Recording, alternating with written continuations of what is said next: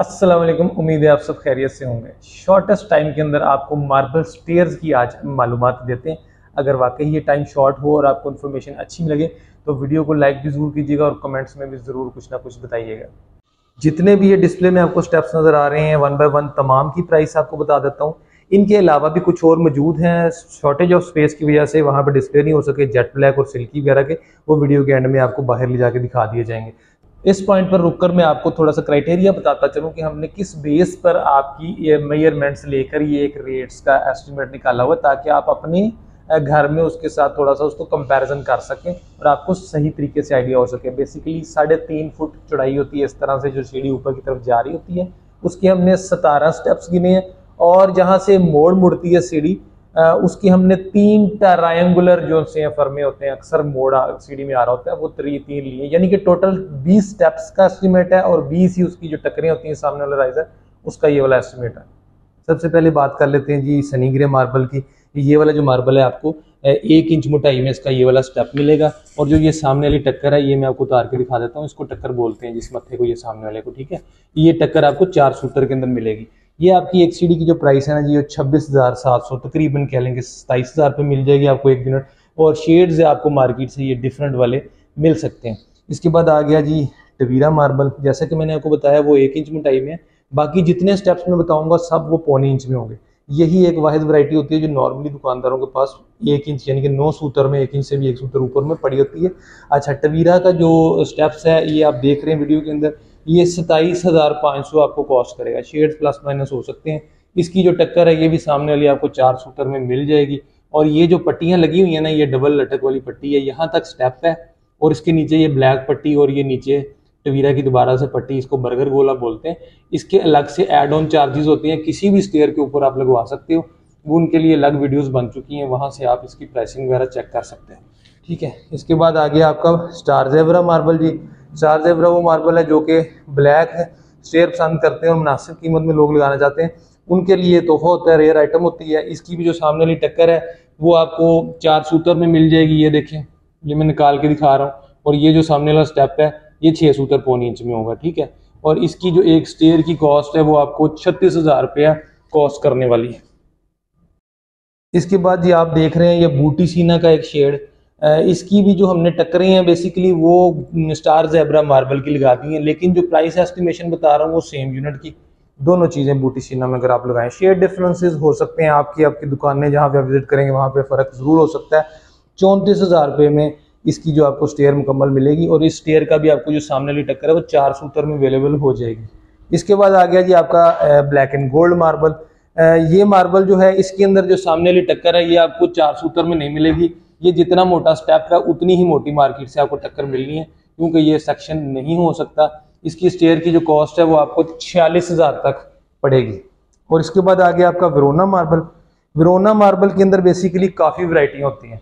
तो इसकी प्राइस आपको ना आइडिया यहाँ से अच्छे वाले का मैंने दे दिया है। इससे नीचे भी आपको मिल सकती है और इससे ऊपर भी आपको मिल सकती है। वरोना मार्बल में बहुत प्राइस वेरिएशन आती हैं। इसमें देख रहे हैं आप स्टेन वगैरह कम है लाइट शेड का और ये जो ग्रेन्स होते हैं, वो भी कम है। जूम इन करके दिखाता हूँ, यहाँ से आपको पता चलेगा। दूर से देखें तो इस तरह से नॉर्मली अच्छी लुक दे रहा होता है स्टेन्स ये होते हैं।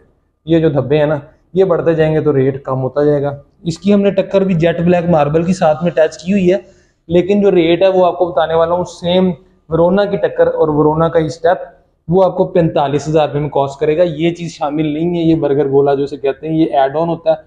ये लगाएँ तो इसके चार्जेस अलग हो जाते हैं, वो मैं इसमें शामिल नहीं कर रहा ताकि आपको कन्फ्यूज़न ना हो, मजीद वीडियोस बर्गर गोला की आप देखेंगे तो आपको पता चल जाएगा। उसके बाद आ गया जी, ये आपका ट्रॉपिकल ग्रे जो मार्बल होता है, ठीक है? ग्रेनाइट होता है बेसिकली ये। ये भी लाइट डार्क बड़ा, छोटा दाना होता है। इसके अंदर जो ए प्लस कैटेगरी है, जिसमें सारे स्टेप्स का कलर भी एक हो, दाने का शेड भी एक हो, वो आपको कॉस्ट करेगी जी फोर्टी सेवन थाउज़ेंड रुपीज़ में। और इसकी भी जो सामने वाली टक्कर है, वो आपको छः सूत्र में मिलनी है, बरीक में आपको नहीं मिलनी। बरीक टक्कर होने की वजह से बेसिकली प्राइसेस कम हो जाती हैं कुछ स्टेप्स की। जब टक्कर भी मोटी लगती है तो थोड़ी सी प्राइस ज़्यादा हो जाती है। अच्छा जी, उसके बाद आ गया आपका ब्लैक एंड वाइट मार्बल इसके बारे में सबसे पहले प्राइस गाइड कर दूँ। तिरसठ हज़ार रुपये में ये बनेगा आपका। लेकिन इसमें मसला ये है कि जो ये इसकी डिज़ाइन पैटर्न है, ये चेंज होते रहते हैं। ये तो आपको बहुत ज़्यादा फील कर रहे होंगे इस वक्त वीडियो में और आप सोच रहे होंगे कि यार, यही सीढ़ी लगानी है, लेकिन मार्केट में इस तरह का ढूंढना बहुत आसान बात नहीं होगी। बड़ी रेयर आइटम होगी, खप जाएँगे, लेकिन मिलेगा बड़ी मतलब टेंशन के साथ ये वाला इस इस पैटर्न का आपको सामान। इसमें ये होता है कि ये जो वाइट वाला हिस्सा है ना, ये कम होना शुरू हो जाता है ब्लैक ज़्यादा हो जाते हैं। लेकिन जितना इसमें ब्लैक एंड वाइट ज़्यादा होगा और ब्राउन हिस्सा कम होगा, जैसे कि यहाँ पे ये नज़र आ रहा है, ये जितना कम होगा, उतना इसका रेट ज़्यादा होगा। ये इस कैटेगरी का जो अच्छे वाला है ना, वो आपको तकरीबन पैंसठ हज़ार रुपये की सीढ़ी बनेगी। और जितना इसमें गोल्डन टच ज़्यादा आता जाएगा ब्राउन टच आता जाएगा, उतनी इसकी रेट जो है वो नीचे जाती जाएगी। अच्छा जिसके अलावा जो है ना, ये रॉ फॉर्म में पड़ा हुआ ये है सिल्की ब्लैक इसकी जो पॉलिश फॉर्म है, वो मैं अंदर आपको काउंटर के सूरत में पड़ी हुई है, वो आपको चेक करवाता हूँ। ये देखें, ये जेट ब्लैक है। इसमें हल्के हल्के वाइट निशान होते हैं, जब ये पॉलिश होता है तो ये काफ़ी हद तक ब्लैक हो जाता है। ये जिस तरह ये आपको नज़र आ रहा है, इसके अंदर कहीं कहीं वाइट निशान आते हैं। ये स्टेप पॉलिश हुआ पड़ा है और ये नॉन पॉलिश के अंदर है। इसका भी आपको सीढ़ी का जो है ना, अंदर जाके एस्टिमेट बताता हूँ और सिल्की का आपको सैंपल चेक करवाता हूँ। ये देखें जी, ये बेसिकली सिल्की है, इसका टेक्सचर चेक कर लें। बाहर आपने रॉ फॉर्म में स्टॉक देखा है इसका। ये जो इसकी लाइनिंग है, ये वाइट वाइट हल्की हल्की, ये कहीं पर थोड़ी बड़ी हो जाती है, कहीं पर छोटी हो जाती है, इस तरह की वेरिएशन इसके अंदर आती है। और इसका भी जो स्टेप है, वो आपको छः सूत्र का मिल जाएगा, सामने वाली टक्कर आपको चार सूत्र में मिल जाएगी। और तकरीबन तैंतीस से चौंतीस हज़ार रुपये में ना, ये वाली सीढ़ी तैयार होती है। और जो जेट ब्लैक आपने देखा है, वो बेसिकली ये सामने देखें, इसका सैंपल लगा हुआ इसमें मैं आपको दिखाता हूँ, ये देखें, ये चीज़ है। अब इसके कॉर्नर में हल्का सा यहाँ पे आ रहा है और कुछ वाइट निशानात बीच में आ ही जाते हैं कहीं ना कहीं। लेकिन सिल्की ब्लैक से थोड़ा सा ज़्यादा डार्क के अंदर होता है। ये भी पैंतीस हज़ार रुपये की रेंज में आपको सीढ़ी मिलेगी।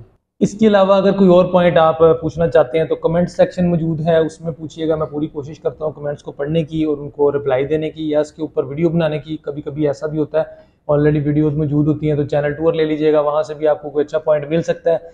दुआओं में याद रखिएगा, जो भी मकान आप तमीर कर रहे हैं, अल्लाह ताला उसमें आपको रहना और बसना नसीब फरमाए, खुशियों वाली लंबी ज़िंदगी ताफ़ फरमाए। खुश रहें बाद रहें। नेक्स्ट वीलॉग तक के लिए ज़्यादा चाहता हूँ। असल वरहमल